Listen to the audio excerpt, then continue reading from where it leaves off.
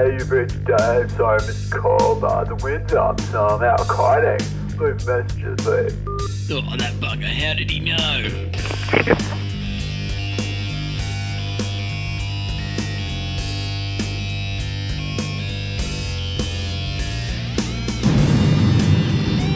Hi kiters! This is a basic guide for amateur wind forecasting on the Ottawa River. I'll run through three apps, iKiteSurf, Wind Alert and Wind Guru, as well as the three local wind meters at Nepean Sailing Club, Alma Sailing Club, and Britannia Yacht Club.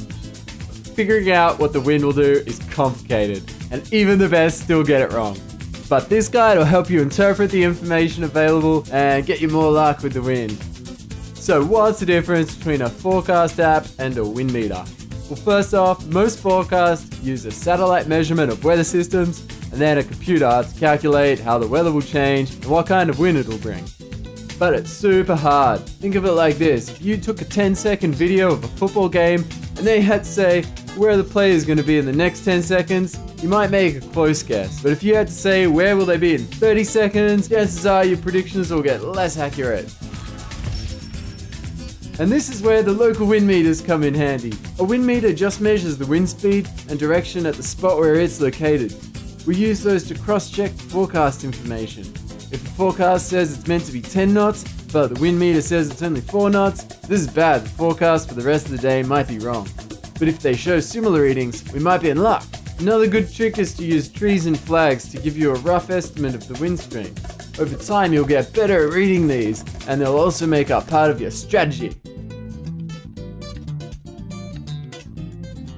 I'm going to start with Wind Alert, but iKiteSurf uses the same format because they run off the same platform, a company called Weatherflow. Starting from the top, we've got the location, Britannia. Then below that, NAM, 12 kilometer. Now what on earth does that mean? It stands for North American Mesoscale Forecast System. And it's just one of a range of forecast systems available. We've also got the GFS Global Forecast System, CMC Canadian Meteorological Centre, HRRR 3km, that's the high resolution rapid refresh model. Whoa, that's a terrible name. And WRF 5km, weather research and forecasting model. So how do we know which one to use?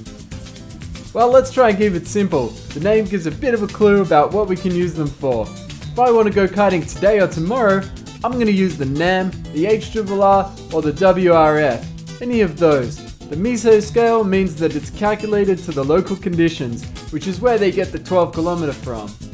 All these models will show a forecast that's close to the same. So you might think, okay, that's not too complicated, but what if it's Monday and you want to go kiting on the weekend? Or maybe even chuck a sickie at work and go kiting on Friday? Well then the NAM isn't going to help you because it only gives a three and a half day forecast.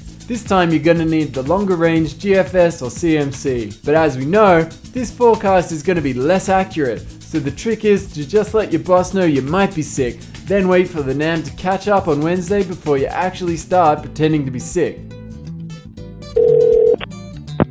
Oh, yeah, hi boss, uh, it's Dave. Uh, I'm not feeling so good, eh? Uh, I might not make it in tomorrow. Oi, Dave, don't forget the 12 metre. Oi, shut up, I'm on the phone. After we've chosen the model, we can see the date, the time in 24 hour format, and then the average wind speed with a color coded bar graph. Inside the bar, there's a black arrow showing the direction. The wind will be traveling in the direction of the arrow as it would appear on a compass, so if it's pointing to the right, the wind will be traveling from west to east. Since the wind direction is named by the direction it came from, we would call this a westerly. After that we can see the gusts. These often appear a lot higher than the average. Ideally for kiting, we want to see a low difference between the average and the gusts, since most kites only have a useful wind range of around 13 knots. If I want to ride on this day, when the gusts are above 25 knots, then I might not be able to use my 12 meter. At the same time though, I'll still bring it to the river because this forecast might be too high and the 12 meter would be perfect. This is why it's always good to have several kites with you. Then we have the sky, showing sun, clouds and rain. As well as being useful for knowing what to wear, quick changes in the sky are often associated with changes in the wind, which might not be shown in the forecast. So keep an eye on that too. On this day at Britannia, we can see the wind dropping as the rain arrives, so you probably want to arrive early that day, even if you don't mind the rain. After that, we've got the temperature, which can also signal wind changes, followed by the hour and the date again, just in case you forgot. Now, what's the difference between the other two apps? Well, iKiteSurf has a better link up with local wind meters. It displays the airport and sailing club readings, which means you can check both the meters and forecast at the same time. This also means it's able to display actual wind readings against the forecast. iKite Surf and Wind Alert also have a Quick Look and Quick Look Plus model, which paste together the short range and long range forecasts. This gives you a high frequency of update in the short range, but it also gives you that extra long forecast. So what's good about WindGuru? Well, it's mostly the same information presented in a different way, but you do get more specific data on cloud cover. It shows percentages and height, as well as the amount of rain, air pressure, and humidity. As you learn more about local conditions, that information can come in handy. If you like graphics though, the Weatherflow apps have the option of precipitation radar and satellite view of cloud movement. Oh, that sounds heaps awesome. Next up, if we've already got the wind meters on the iKiteSurf app, then why would we need to look anywhere else for the same readings? Well, on the app, you have the readings presented on a pretty small scale in hourly chunks of time. But if you really want to see how much the wind has been changing throughout the day, how wide the gaps are between the lulls and gusts, and how much the direction has been shifting, then the individual sailing websites will present this information in slightly more detail. And as an extra bonus, the Britannia Yacht Club also has a webcam, which means you can check out the surface conditions. Another important point would be whether you check out more than one meter. There's actually sometimes good reason to mistrust a wind meter. The main reason would be if the meter was not receiving clean wind on that day. For example, Britannia Yacht Club faces northwest looking up the river, which provides great readings from the northwest and west. But any wind coming from the east is interrupted by buildings and trees before it gets to the meter, making readings from that direction very different to how the wind would be at Constance Bay, where you would actually go kiting during an easterly wind. So let's put this all together. How are we going to know when to go kiting and when not to go? Best case scenario is that we get a big slow moving low pressure system and it takes three or more days to go past us, but not directly over us. This is going to bring us steady winds from one direction.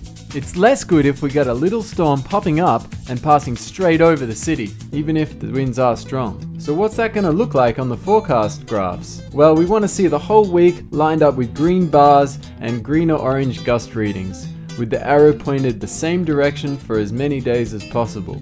We don't want to see the gusts being too different from the average wind speed. We don't want to see big changes in the strength or direction, and we don't want to see more than a few millimeters of rain per hour.